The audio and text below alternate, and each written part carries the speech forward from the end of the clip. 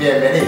Eh, si has llegado hasta aquí es que seguramente es arquitecto y te interesa la arquitectura, pero hoy tenemos una sorpresa porque este no es un vídeo muy para arquitectos.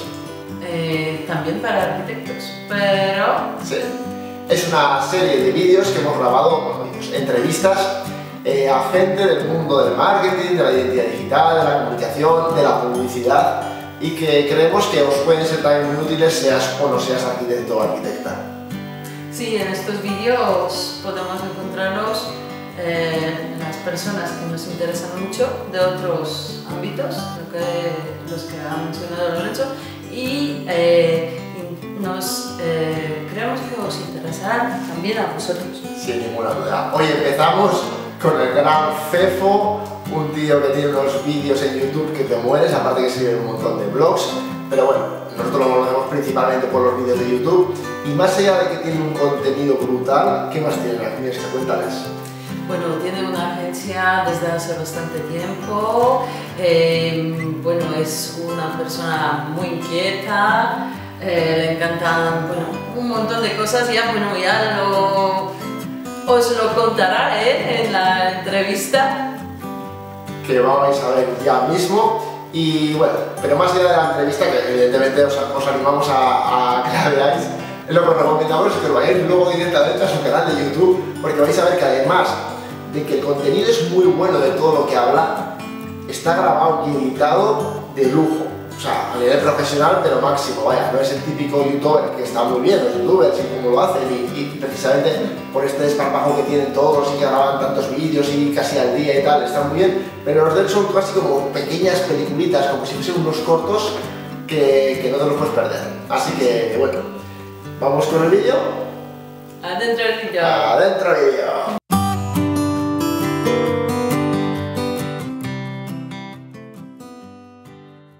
Bueno, por aquí, por Labs.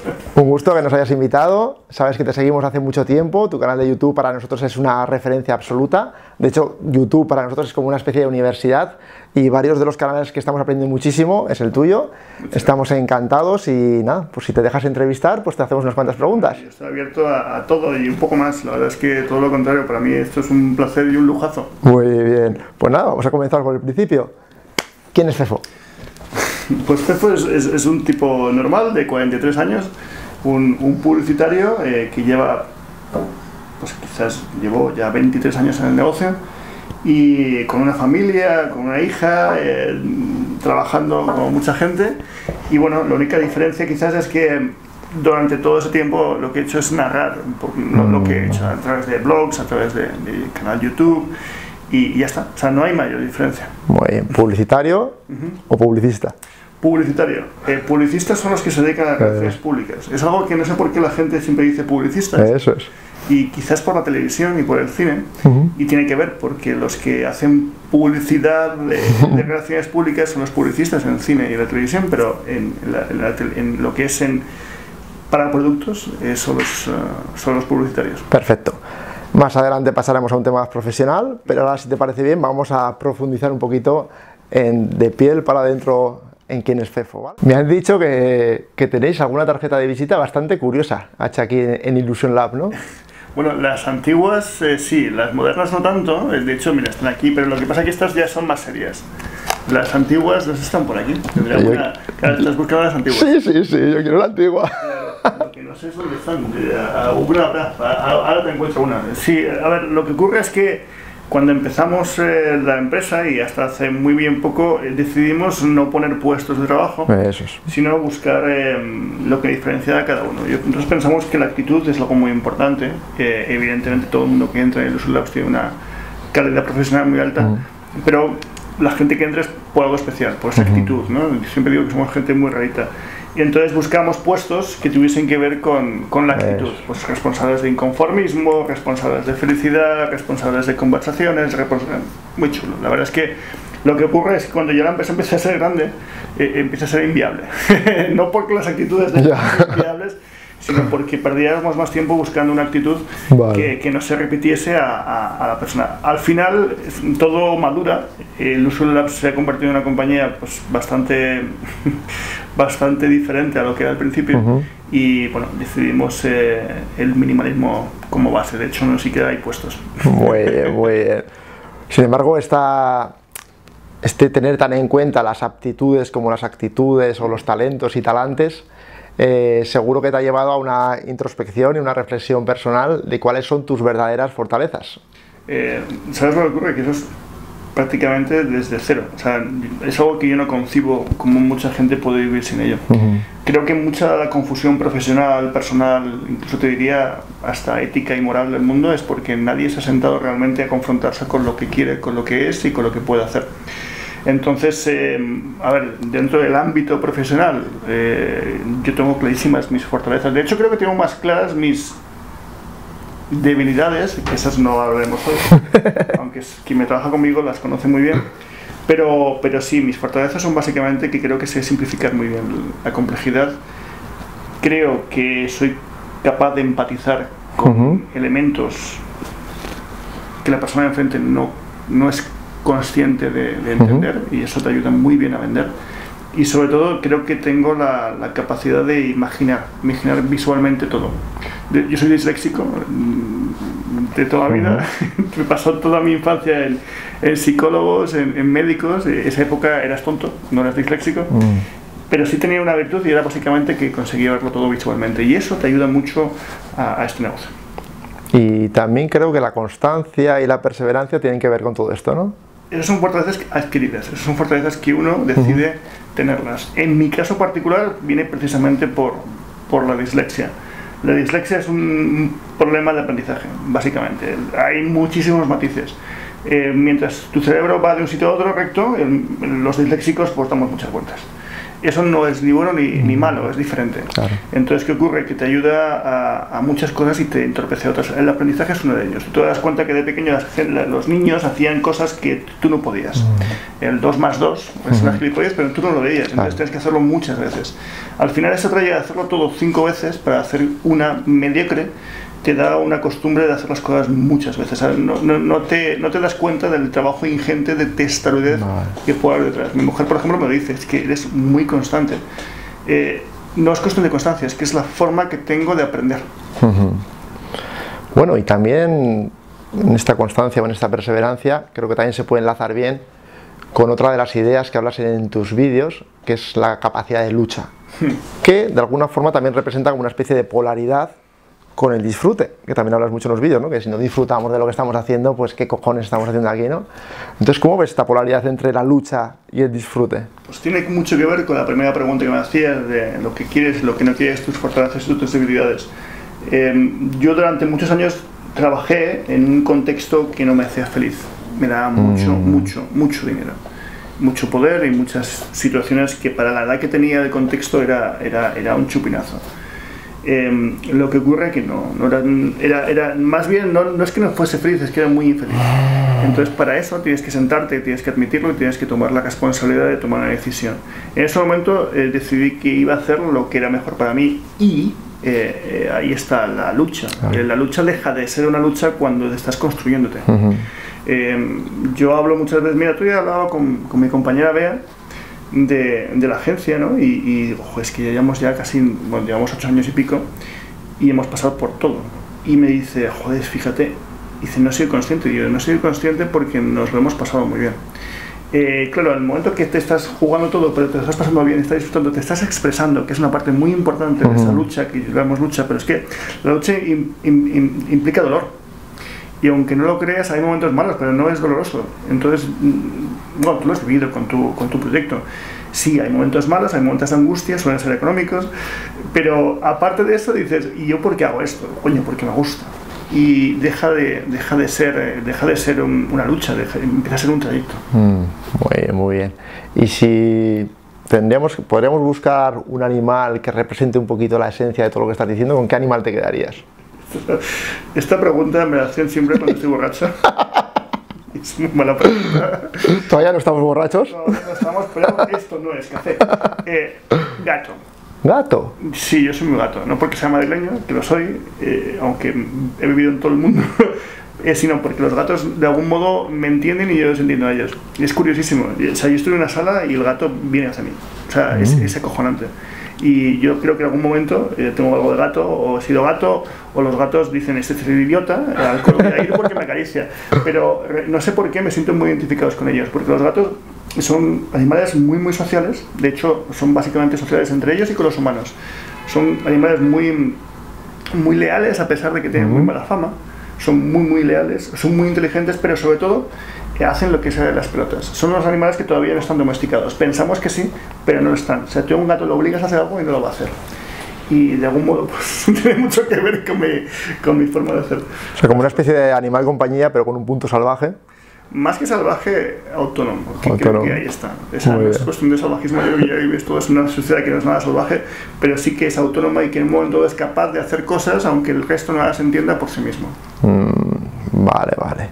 Y si vemos un poco tu vida en retrospectiva, ya hablabas ¿no? de esta infelicidad que te producía determinado momento laboral. Quizás ahí se produjo un momento clave, ¿no? En, también eh, en un tiempo que tuviste de, para pensar, de transformarte, de, de salir de un sitio y entrar en otro, que fue Illusion Lab y, y FIS. ¿Qué aprendizajes crees que sacaste de esa etapa como más de pausa, más de quietud? Uno, es conocerte a ti mismo. A ver, yo tengo una situación muy particular y privilegiada. Yo dirigía una multinacional, eh, era el socio más joven a nivel internacional. Yo básicamente no paraba en España, se pasa el día en Nueva York, en Londres, en París, en, en Roma. Insisto, la parte económica está súper bien y aparentemente eso con 32 años es un lujazo. Lo es, de hecho. Lo que ocurre que es que la labor de dirección general en la compañía que yo lo desarrollaba, la cual respeto mucho, pero yo no comparto, es puramente financiera. Yo no soy financiero, yo soy un creativo y yo soy un gestor de personas, ¿no? Eh, eh, y hay un momento en que tienes que luchar entre lo que se supone que tienes que hacer, Ujú. y la sociedad te dice, incluso tu familia, que es guay. Yo digo, el día, el día que dije, oye, voy a dejar todo, eh, se quedaron un poco locos, ¿no? Y se- me- Normal. Bueno, me- mi padre, que mi padre me entendía perfectamente, me decía, toma por culo. y esa fue una historia tremenda que algún día contaré. Pero a lo que voy, tuve un año y medio, realmente tengo un contrato de dos años de, de no competencia. Entonces tuve dos años de, en casa, cobrando. Ujú. Bueno, Eso suena muy bien, no fue tal así porque luego seguí colaborando con la compañía como editor creativo, pero sí que es cierto que no tenía responsabilidad comercial. Ese tiempo me permitió dos cosas. Una, ¿qué coño quiero? Y tenerlo muy claro. De hecho, hay un, hay un rollo en casa que un día tengo que enmarcar y es psicótico. Es un, un- un diagrama de flujo en el cual básicamente tenía todas las opciones para... Estaba en un lugar que no quería y, y quería llegar a un lugar que no estaba determinado. Entonces me puse a escribir todas las opciones, si hacía Ujú. esto, si hacía lo otro, si mandaba todo por culo, si negociaba, así, todo. Y es un... Parece mi mujer lo vio y se quedó cuando lo vio por primera vez, me dice, tío, estoy enfermo. Porque eran todas las opciones y al final además iba, iba, iba tachando las que no salían hasta llegar al punto que, que, que estaba en casa, ¿no? Que, que es lo Claro. que yo quería para volver a construir mi compañía. Lo que voy, te ayuda a conocerte a ti mismo, lo que quieres y lo que no quieres. Y, y eso además te ayuda a definir cómo quieres trabajar. Eh, insisto, yo me doy cuenta que al final una compañía es cultura. Y no lo digo por decir, es muy importante. Una cultura no es algo escrito, no son 10 puntos, no es, no es una rueda de prensa, no es, no es un manual. Una, una cultura para mí no está implícita, no, no está escrita. Es la forma en la que te relacionas con tu gente, tu gente se relaciona contigo y con el cliente. Y evidentemente yo no me gustaba la política, no me gustaba eh, la decisión pura económica. La económica es muy importante, pero entonces decidí que, que si algún día montaba algo, no iba a tener todas las cosas. Bueno, bueno. Y en estas vorágines de posibilidades, ahora mismo te planteas dónde te imaginas dentro de tres o cinco años, una cosa así. Sí. Estoy en un momento bastante, como te diría yo, cambiante. Eh, dentro de muy poquito llegaremos a los 10 años en Illusion Labs. Estoy súper orgulloso, súper contento. Yo creo que es de las épocas que más contento estoy. Eh, lo que sí que es cierto que te planteas eh, que quieres más. Y eh, es un factor claro de ambición, y lo digo tal cual. Ujú. Esa ambición no viene tanto por la economía, que por supuesto que también, y lo digo tal cual porque la economía te da libertad, sino porque ves que hay huecos muy mal cubiertos. Mm. Y, y creo que esta compañía puede evolucionar hacia terrenos muy, muy indeterminados que todavía no puedo decir. incluso cambiar el formato de agencia. O sea, no me plantear, o sea, incluso hemos llegado a plantear cambiar, dejar de ser una agencia y empezar a ser tecnológica. No lo sé. Eh, todo está abierto y es divertido. Y además en los últimos meses han llegado clientes fantásticos de, de fondos de inversión, de startups brutales que, que, nos están permitiendo hacer de todo. Y te das cuenta que el formato de agencia es muy, es muy curioso, es muy bonito, pero es muy servicial. Al final, tu talento, tu, tus ideas, eh, en lo que destacas no depende tanto de ti, sino de que el cliente te deje hacerlo. Entonces el reto que yo lanzo es, ¿seremos capaces de lanzar algo al público sin pasar por un cliente?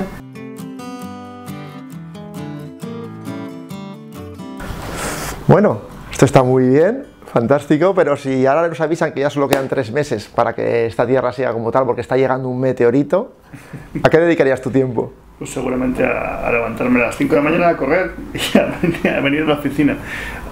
Yo creo que el miedo, el miedo es, es, es, una, es un impulso que nos da el cerebro para protegernos. Si pasase algo así, yo no me podría proteger, entonces solo lo que puedo hacer es intentar ser feliz. Y al final, eh, esa felicidad son momentos, pero parten de una estabilidad. Si perdemos la estabilidad, nos volvemos locos. Mm. Y yo creo que, que, si me dijesen eso, seguramente intentaría tener las rutinas habituales, precisamente para, para lo que me queda ser feliz. Y seguro que pasar mucho tiempo con tu hija, con tu mujer que eso es algo que siempre le has dado como prioridad, ¿no? no, no, no, yo creo que es algo que, que me planteé con, con, mi mujer hace mucho tiempo y siempre haré mucho tiempo con ellas, el que puede, evidentemente, y hay horarios muy sagrados. Eh, en ese sentido, ni más ni menos. Yo creo que al final, eh, si vienes un, un, pendeorito y, y, me dicen que me quedan tres meses, pasar más tiempo sería falso. Vale. ¿No? ¿En serio? Sí, sí, está al bien. final creo que, que porque, o sea, se supone que no lo he hecho antes, lo voy a hacer ahora. No, no creo que. Yo creo que al final, cómo reaccionas día a día es, es, te define más que los momentos más críticos. Muy bien. Y un poquito hasta ahora hemos ido viendo, como decíamos, ¿no? de la piel hacia adentro de Fefo. Ahora vamos a salir de la piel hacia afuera. Uh -huh. Y aprovechamos para rebobinar un poquito y nos vamos hasta los tiempos universitarios. Uh -huh.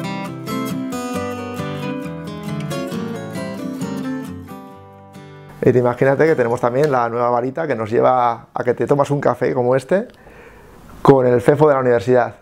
¿Qué, qué le contarías? ¿Le darías algún consejo? ¿Qué, ¿Cómo sería la conversación? Pues el CEFO de la universidad, un tío, un tío, no sé, un tío con muchos miedos. Yo creo que perdí mucho tiempo teniendo miedos. Y es algo que creo que no es mío, es de todo el mundo. Eh, yo de momento no estudié en la universidad, estudié en la universidad privada, que es diferente, porque mi padre me obligó a estudiar hasta, hasta ¿cómo se llama esto? Hasta selectividad. Selectividad decidí putear, putear inconscientemente, bueno, a la tonto, a mi familia y decidí que iba a sacar un 10 y ceros. Y entonces toda la parte de letras saqué 10 y toda la parte de matemáticas saqué ceros, con lo cual evidentemente se me quedó en, en un 5 pasado que no me daba para nada. O sea, fue un juego psicológico que yo me hice a mí mismo, lo cual era para demostrarme que podía hacer muchas cosas y nada. Al final, mi padre no quería que yo estudiase publicidad y, y, y estudié publicidad. Era eso o cine. La verdad es que no había mucha opción. Entonces, eh, bueno, cuando empiezas en publicidad, en ese caso mi padre ya era un publicitario muy importante en su sector. Y claro, yo empecé a trabajar por las noches. Bien, bien, empecé a trabajar por las noches. Empecé a trabajar por el día y por las noches estudiaba. Claro, la gente que, que, que, estudia por las noches son gente currante, son gente... es muy diferente por la mañana. Uh -huh. Yo me estaba trabajado por el día para poder pagarme a la universidad por las noches. Pero es que todo el mundo hacía lo mismo. Y era gente muy, insisto, una situación, no digo dura, pero sí bastante... O sea, la gente no estaba allí por pasar claro. el día, no, no, no jugaba a las cartas, la gente iba a estar ahí sus horas y competían mucho y, y eso a mí me daba mucho miedo porque nunca había competido. Curiosamente me pasé toda la vida compitiendo, pero, pero yo no sabía si podía ser creativo. Yo, no podía ser, yo, yo sabía que con corbata, porque yo era ejecutivo en esa época, eh, y, no sé si podía hacer otras cosas. Y me pasé mucho tiempo dudando de mí mismo. La única cosa que no podemos comprar ni vender es el tiempo. Y cuando lo pierdes, eh, cuestionar de ti mismo, es absurdo. No quiere decir que te ponga chulo, es arrogancia, eso es diferente, es otra pérdida de tiempo. Pero sí que es cierto que si podré o no podré, coño, hazlo. Y si no puedes, aprende. Y si no puedes aprender, cambia. Mm. Pero desde luego, eh, dudar de ti mismo por un mero hecho de contexto es una gilipollez. Eso es lo único que me diría. Bueno, que no es poco.